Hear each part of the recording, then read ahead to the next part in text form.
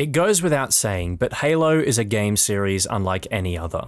Many first person shooters place a ridiculous amount of emphasis on weapon designs, how they look, sound, reload, and feel, while sometimes overlooking other aspects of their game's design language and sandbox. Halo was slightly different in that respect. While creating the first Halo game, the developers at Bungie seemed just as eager to showcase their shiny array of futuristic sci fi weapons as they were with their vehicles. Halo has seen many iconic and varied vehicle designs over the years. The Covenant Arsenal is known for its smooth curved edges and glossy reflective surfaces with almost no obvious seams or edges, whereas the human faction in the series, the UNSC, are the polar opposite. Bolts, rivets, handlebars, and the evidence of their manufacturing process can be seen very clearly within their designs. Every angle is razor sharp, and their paint is chipped, scratched, and almost every UNSC vehicle in the series that you acquire has seen better days. And no vehicle exemplifies this design philosophy quite like the M808 main battle tank. Welcome to the first episode of a new series on the Laper Larden channel called Halo Revisited. And what better place to start than a mainstay vehicle that's been around even before day one the Scorpion tank.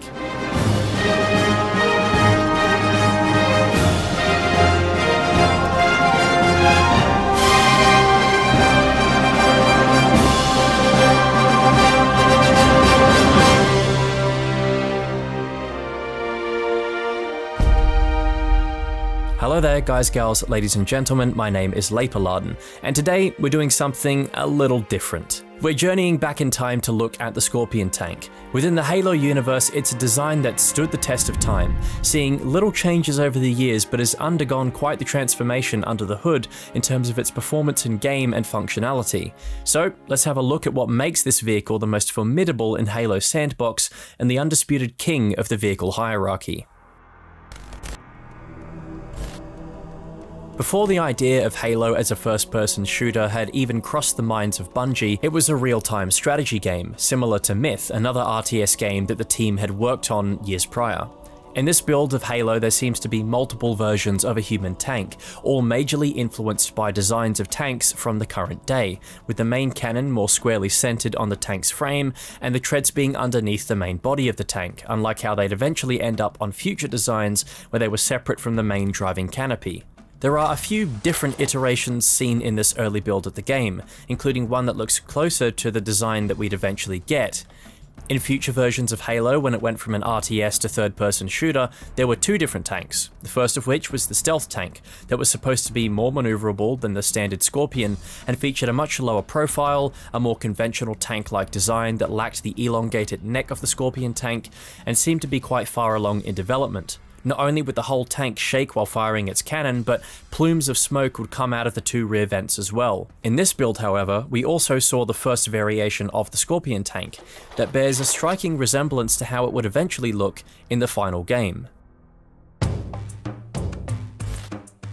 The Scorpion tank is teased briefly in Combat Evolved's campaign during the first cutscene and becomes playable a few missions later. It's used quite sparingly, only being drivable in Assault on the Control Room. In the lore, the Scorpion tank is an affordable, mass-produced design that has seen use among humanity's military for several hundred years, and features a complex human-computer interface system that allows for one driver, namely a Spartan or a Marine with a neural interface, to operate the entire machine, controlling its movement, firing of the weapon, weapons, etc., all at once, as opposed to the standard crew of at least four needed to operate a tank nowadays. The driver is aided by a series of different cameras and sensors held within a housing for the main cannon that fires a 90mm tungsten round. On this version of the Scorpion tank, specifically the M808B, there's a side-mounted coaxial machine gun that the player can fire with their left trigger and comes in particularly handy while waiting for the main cannon to reset, as there's a noticeable 4 second delay between shots. The reticle on the Scorpion is also quite large in this game, which is fair as the spread of the main cannon's fire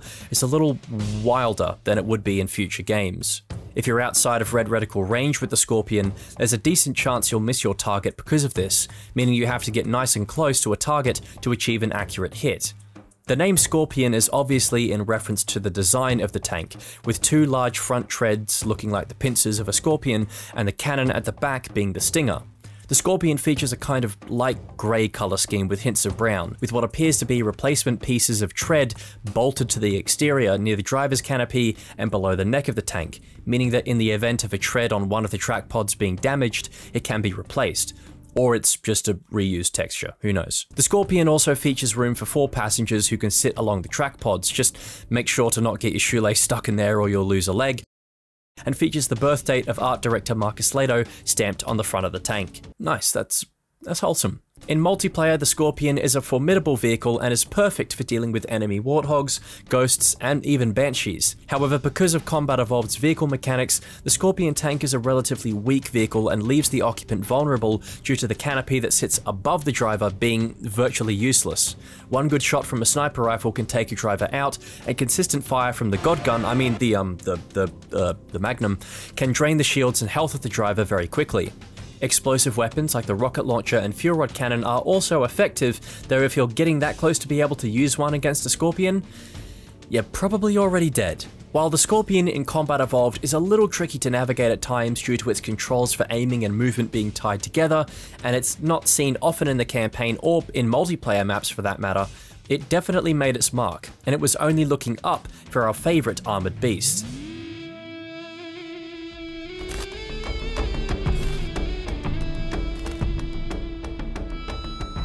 Halo 2 was bigger, bolder, and more badass than its predecessor, taking what many fans loved of the original game and dialing it up to 11, while refining what previously worked. One such example of something that saw significant refinement was the Scorpion. In Halo 2's campaign, the Scorpion is first used in the opening moments of the mission Metropolis, getting dropped off by Sergeant Avery J. Johnson himself before rolling on through the Covenant defenses and wiping out any inhuman, Inhuman son of a bitch, dumb enough to get between him and the prophet of regret. Pull yourself together, because you're going with it. It later appears in Delta Halo as an optional replacement for your Warthog, and again towards the start of Quarantine Zone, where you can find a disregarded one that a Flood combat form will board in case you don't get to it first. yeah, as if the Flood weren't scary enough already, they can drive tanks. Great, thanks for the nightmare fuel, Bungie. In game, it functions very differently to Combat Evolved, having only a 2 second cooldown timer on its main cannon and a much smaller and thus more accurate crosshair that seems to have an upped level of magnetism for targets as well. The cannon on Halo 2 Scorpion does feel noticeably less powerful compared to CE's. The sound of the cannon is tamer, and the huge amounts of dust and debris that were shot into the air whenever a tank shell hit its target and exploded is missing here. However, the trade-off is that it's more intuitive and simpler to maneuver and carries over the side-mounted driver-operated machine gun. The Scorpion features a different design to Combat Evolved, with better textures and detailing that show all the bolts and screws that help to hold this metal beast together. The external pieces of tank tread are still present in this design too, and it's gotten a paint job, going from the dark grey-brown colour of CE to an olive green shade more reminiscent of other UNSC vehicles like the Warthog. In multiplayer, you unfortunately can't board the track pods like you could in CE, though AI allies can in campaign, and it's a very daunting challenge to take one of these out. Due to its increased fire rate and its better accuracy at range, there's much less room for error in defeating a Scorpion tank in Halo 2. Different to CE, once again, there is a vehicle damage mechanic as well that shows the health of the vehicle, but in a different way. When the Scorpion obtains damage, it starts off with a bit of smoke, maybe the odd electrical crackling, maybe a few bits of armor pop off, and then. It was at this moment that he knew. He fucked up.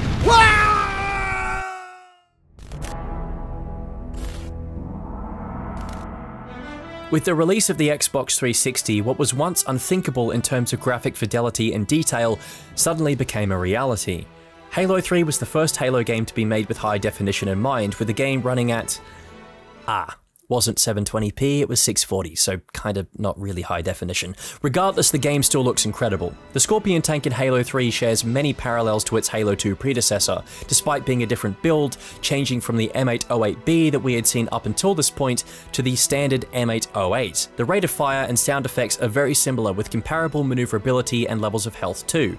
Like Halo 2, the vehicular damage mechanic is present, and those little tank treads on the exterior, Still got them. The design was given more detail, with a small ladder leading up to the driver's canopy, handlebars for the brave soldiers who want to sit on the track pods, and on other parts of the tank, presumably making it easier to access portions of the Scorpion to perform maintenance. There are also these little bits of rope that hang from the track pods, likely there to help with hanging supplies off the tank for long journeys, or could be used as an improvised winch in case the tank needs to tow or be towed by another vehicle. The biggest change, however, isn't the change of colour to a browner shade instead of green, but the removal of the side-mounted machine gun, instead being swapped for a separate gun emplacement that can be used by a second operator. Not only does this help negate the chances of being boarded from the front, but it also allows the Scorpion tank to fire in two different directions at once, with the main cannon focusing on one target while the machine gun can aim elsewhere. The same version of the Scorpion tank was used in Halo 3 ODST, with the same model and functions almost identically.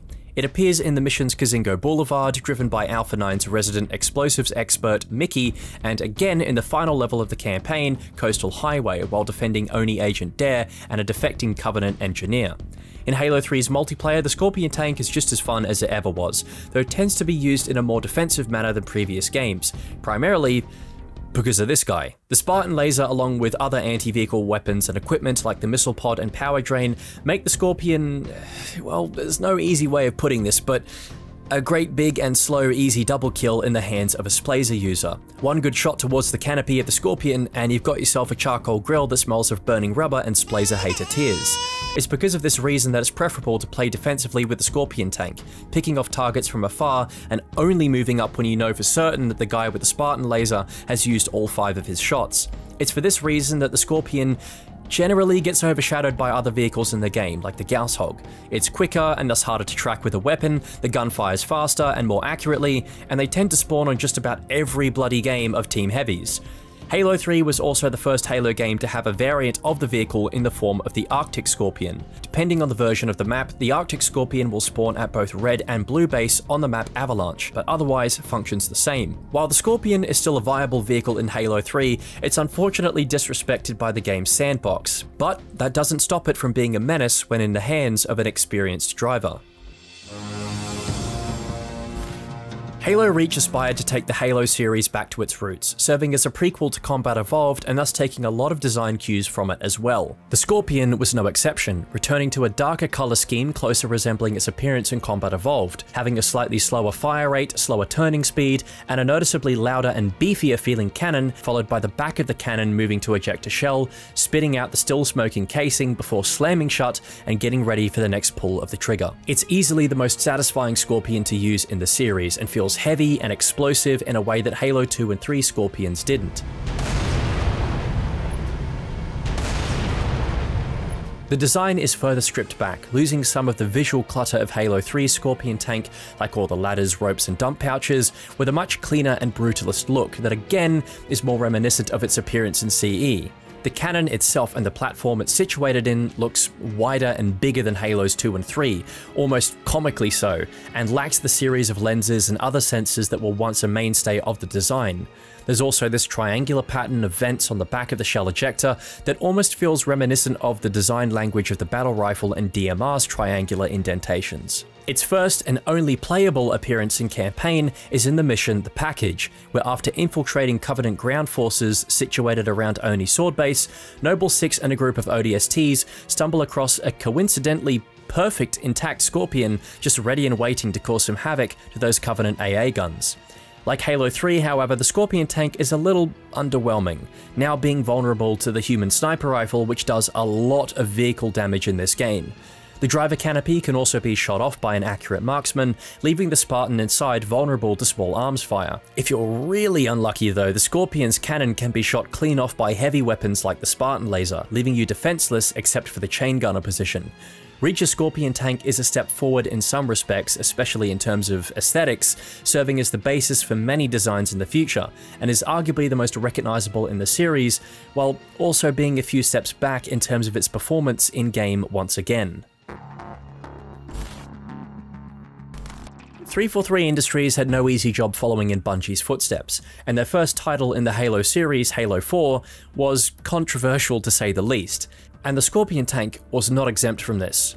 With a massive change in art style that saw characters, weapons, and the whole aesthetic for the series' factions almost completely changed, the Scorpion, design-wise at least, remains relatively untouched, still rocking a similar look to Halo Reach's design with triangular vents on the back of the main cannon, the mounted secondary machine gun, the dark greeny grey kind of colour scheme, and white painted details are all the same. But functionally, it was the biggest departure we've seen to the Scorpion yet since Halo CE to 2. The shots now arced in Halo 4, meaning the long range dependency of the vehicle was slightly reduced. You'd now have to aim higher than usual to hit a target at a distance, which also explains the change in crosshair that features vertically descending brackets to try and give the driver a rough estimate and how much higher they have to aim. Its firing sound though is quite different to previous renditions, emphasizing the whistle of the shell as it travels through the air, the main boom sound coming from the eventual impact of the shell and the metal clang of the ejector port loading up the next round, instead of the immediate loud bang of Bungie's games. Its first appearance in campaign is during the latter half of the mission Infinity, where Master Chief, along with other Spartan 4s, push through a Covenant defensive perimeter to get aboard the grounded UNSC Infinity, where it's quickly outshone by the newer and arguably more interesting UNSC mech, the Mantis. In multiplayer, the Scorpion isn't seen all that much, but like the Reach version it's based off, feels satisfying to use, albeit maybe a bit weak. Halo 4 also suffers from an influx of new power weapons, most notably the Promethean Incineration Cannon that can one-shot the Scorpion tank in addition to the Spartan Laser, the Rocket Launcher, Fuel Rod Cannon, Sticky Detonator, and of course the Sniper Rifle, which holds onto its vehicle killing capabilities from Reach. The slower rate of fire and having to arc your shots isn't inherently a bad idea. It adds a little more thought to using the vehicle than just point and shoot in the general vicinity of someone and they're bound to die. But with its already minimal health and Halo 4's heavy emphasis on powerful vehicle killing weapons, it's a risky choice to want to take this over just trying your luck with an ordnance drop. Halo Combat Evolved Anniversary is a contentious game among the Halo community, as it reuses a lot of assets from Halo's Reach and 3. The Scorpion tank is indeed one such reused asset that kind of misses the mark. Instead of the canopy sliding shut like it does in Reach, in CEA it sticks open like a trapdoor, but doesn't really make a lot of sense as to how it can do this. The gunner position is gone, replaced with the coaxial machine gun that we all know and love from CE. Otherwise, it's not much to write home about. It's the Reach model with some new sound effects and a few changes on top of the Halo Combat Evolved Scorpion. In Halo 2 Anniversary, we once again saw a design very similar to Halo Reach's, but repainted to better match the olive green colour of Halo 2's original Scorpion. There's notably quite a difference in the Scorpion's look from cutscene to gameplay, however. In this render by Blur Studios, the company behind Halo 2 Anniversary's pre-rendered cutscenes, you can see what looks like a bit of fabric covering the base of the cannon, along with two small targeting screens that reminded me a lot of the green eyepiece seen on the helmets worn by Marines in Combat Evolved and Reach. The cannon is super detailed and wider than previous versions, and it carries over the spirit of Halo 2's Scorpion design with all the bolts and rivets clearly visible along with other little intricacies. But when you hop into game, it unfortunately looks nothing like that and is just a slightly different Reach model. It makes the sound of the shell being ejected from the rear port of the cannon similar to Reach, but there's no animation for it. In Halo 2 Anniversary's multiplayer, which was based on the Halo 4 engine, the Scorpion tank is rarely seen as it's only present on the map Bloodline, a reimagining of coagulation. The Anniversary games are a bit of an oddment in Halo's history when it comes to the Scorpion tank, and things unfortunately didn't get much better from here either. Halo 5 Guardians sees the biggest departure in terms of design to the Scorpion tank yet. If Halo 4 started 343's trend of redesigns, Halo 5 is what their vision of the Halo universe was ultimately supposed to look like. And in the case of the Scorpion tank, I think it's for the worse. In the lore, this is a post-war version of the Scorpion, developed in the year 2557, called the M820, and supposedly has the same firepower and agility of the original Scorpion, but only half the weight. I know there are some fans of this design, and I can see why. The Scorpion is practically not very sensical. I've linked a video to Spookston who explains why, from a real world perspective, the Scorpion just makes no sense. Halo 5 Scorpion almost feels like it aims to address some of those points and takes the Bungie design philosophy of sharp angles and simplistic retro future looks to smooth edges and a ton of detail that makes this design look very busy and reminds me more of an M1A2 Abrams of the modern day than the sharp, aggressive looking battle tank of the future and upon doing some further research, real-world modern-day tanks seem to have served as inspiration for this redesign. It's a common problem with Halo 5's aesthetic, scrapping something that, while not practical in a real-world sense, is a recognizable and exclusive design that set Halo apart from its many competitors. And in 2015, when Halo 5 came out, there were a lot of competitors in the sci-fi shooter space. The rough silhouette of the Scorpion tank is still kinda there. The four track pods, the massive elongated cannon, the secondary turret, However, the cannon now resides further to the front of the Scorpion than right at the back like it formerly was, and lacks the notable neck of the Scorpion tank, with the used shell after firing being ejected from the top of the cannon rather than being removed from the back. Instead of the whole cover surrounding the cannon moving up and down while aiming, the cannon itself is situated on its own smaller axis, and despite in the lore firing a larger 150mm round compared to the previous M808 series that typically fired 90mm, the explosion is noticeably less big, shall we say.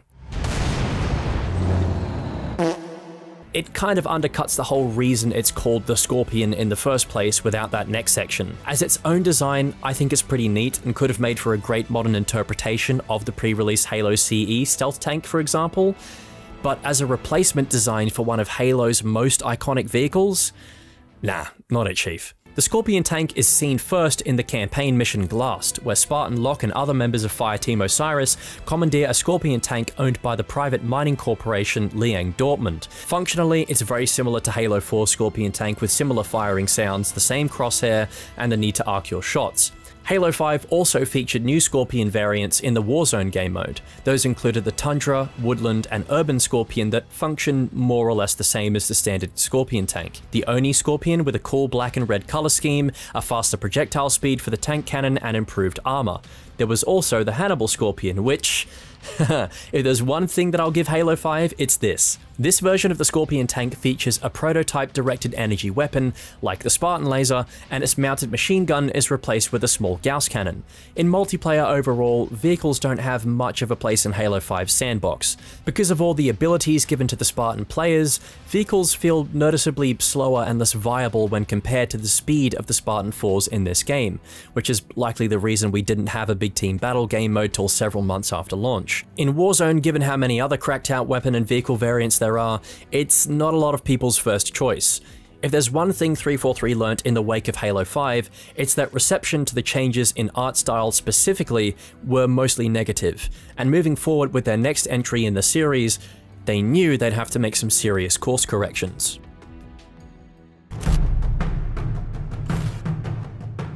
Halo Infinite took the series back to a design language that was more closely synonymous with what many have come to expect from Halo. The sharp angles and simplistic designs of the Bungie era games are featured more prominently in the designs for the Spartans, their weapons, and of course the vehicles as well. The Scorpion tank is a step back from Halo 5's, but in all the right ways, returning to a more familiar model that closely resembles the look and functionality of Halo Reach's Scorpion tank, and in the lore is supposed to be one of the older M808 series.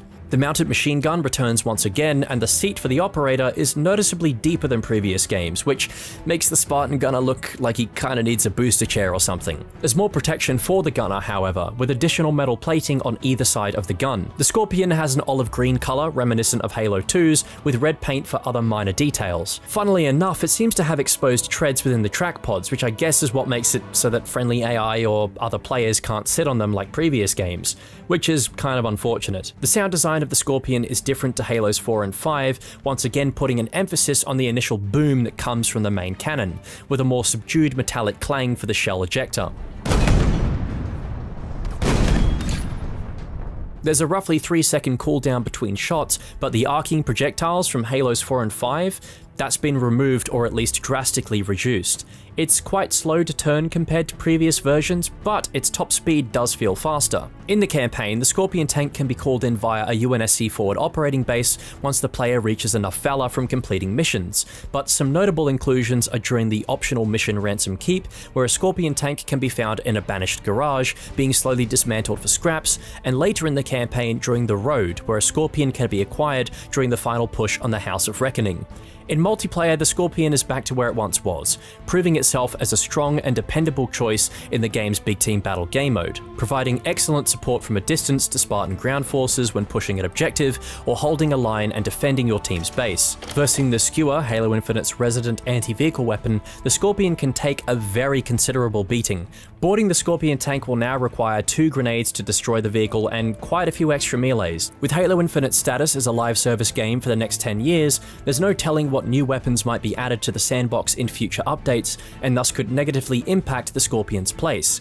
But if there's one thing that the last 20 years has told us, is that a Scorpion tank is really only as good as the sandbox it's placed in.